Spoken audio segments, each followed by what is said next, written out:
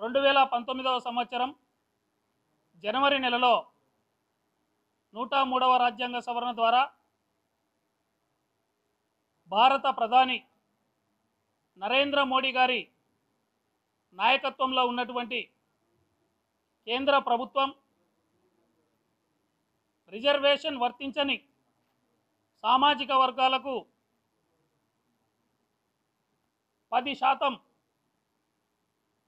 పేదలకు విద్యా ఉద్యోగాలలో రిజర్వేషన్ కల్పిస్తూ రాజ్యాంగ సవరణ చేయడమే కాకుండా వాటిని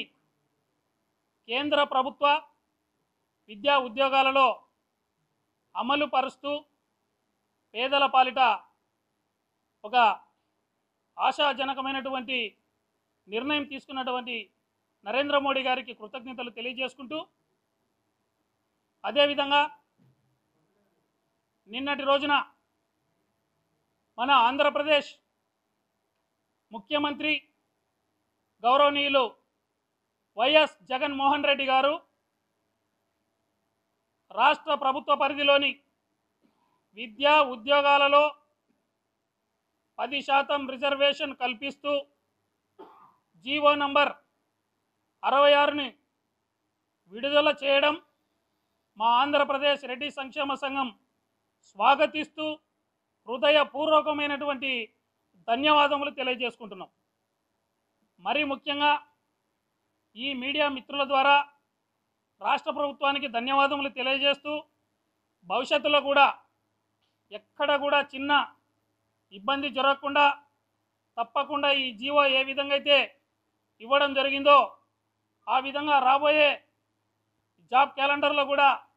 ఈ జీవోని ఇంప్లిమెంట్ చేసే విధంగా ప్రభుత్వం చర్యలు తీసుకోవాలని అంతేకాకుండా గత రెండు సంవత్సరాల నుంచి